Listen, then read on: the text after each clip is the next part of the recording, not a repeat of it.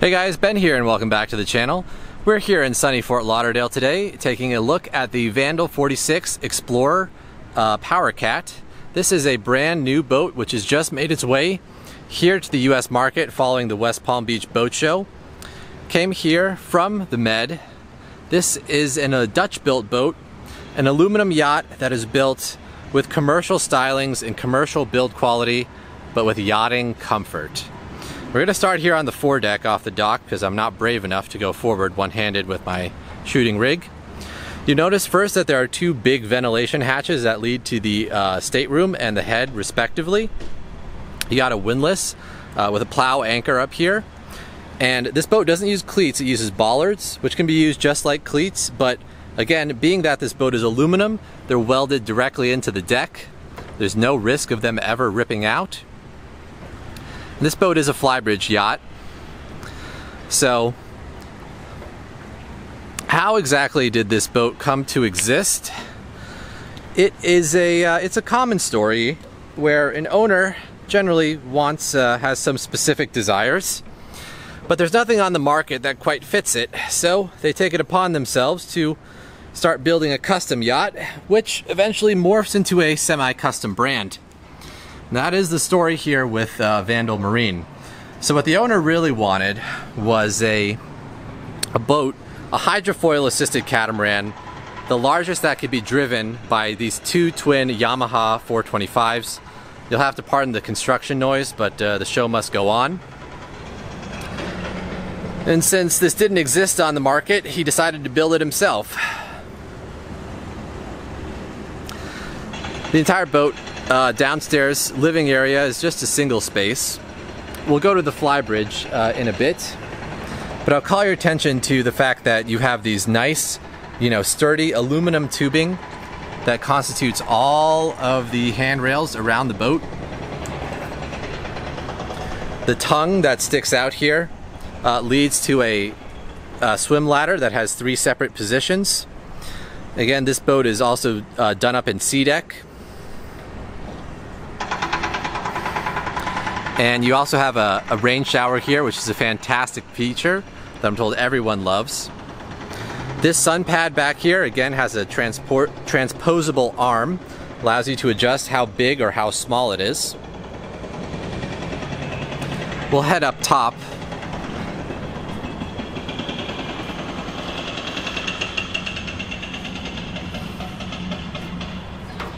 The forward helm the helm station up here is very is pretty far forward, which just gives you an idea of how kindly this boat is in a big sea. It's got the joystick as well as uh, twin throttles, Raymarine electronics. Really great visibility from up here.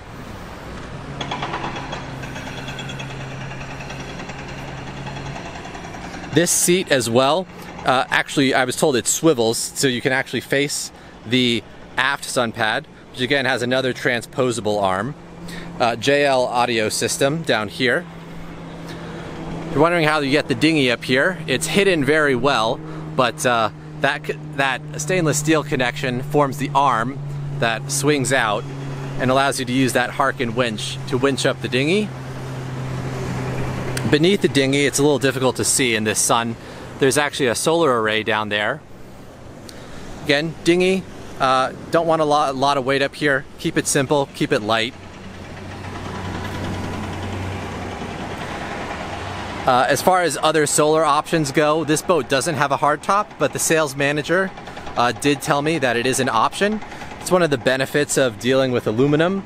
You don't have to build molds for things, so you just, uh, you know, ask what you want and uh, the craftsman will weld it up for you. Heading back down, we'll move into the galley slash main living area now. We've got a twin electric burner stove, a single basin sink. Uh, this tray down here is uh, hinged so it can fold up.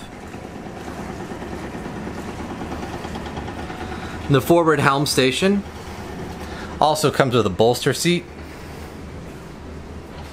And again, a second set of Raymarine electronics.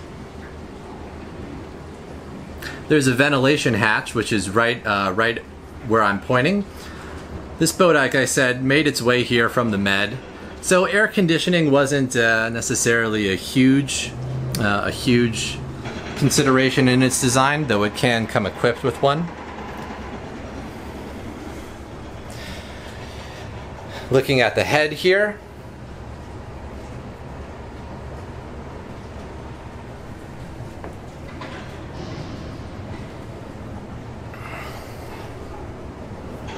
And also, I'll draw your attention to underneath the galley. We actually do have uh, uh, twin Dometic units that are held in place by these uh, spring loaders, so you can just pop those up, pull them out, grab whatever refreshments are needed. You have another two built-in Dometic units. Uh, I'm also told you can have an ice maker there.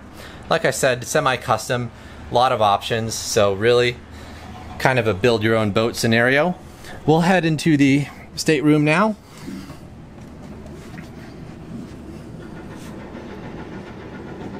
This is a king size bed. So yeah, a thwartship berth, really nice. Like I said, I mean, hey, if it ain't Dutch, well, you know the saying. So yeah, uh, again, like I said, you don't necessarily need AC on this boat. It's very comfortable. You got one hatch here, but you also have another hatch here for cross ventilation. Now, as for the actual performance on this baby, she can go pretty darn fast. The top speed I'm told is 40 knots. Comes out to uh, a little under 50 miles an hour. Take a look at the mechanical space as well while I discuss the performance specs. The range is uh, 250. I'm told she carries 330 gallons. So the uh, efficiency is a little under about one, one mile per gallon, 0.9 or so. This mechanical space houses the uh, electrical system, the transformer inverter, as well as the battery bank. And the opposite mechanical space houses a genset.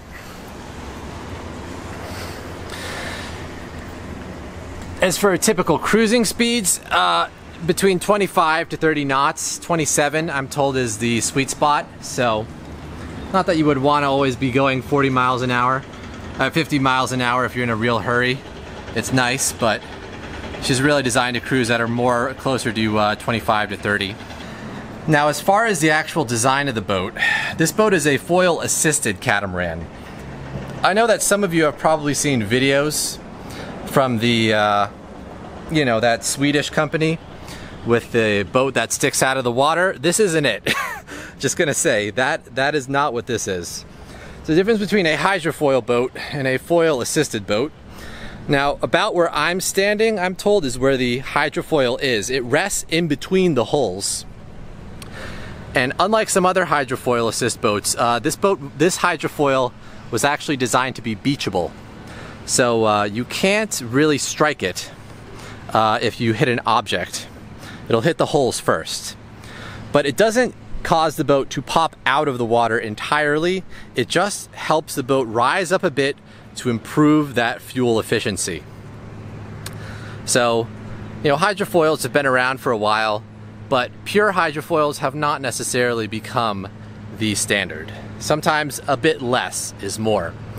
So that'll wrap it up for the Vandal 46 uh, Explorer yacht. This boat is available here in Fort Lauderdale. If you want to set up a showing, please uh, give me a ring. My contact info is in the description. As always, thank you for watching, and I'll catch you on the next one.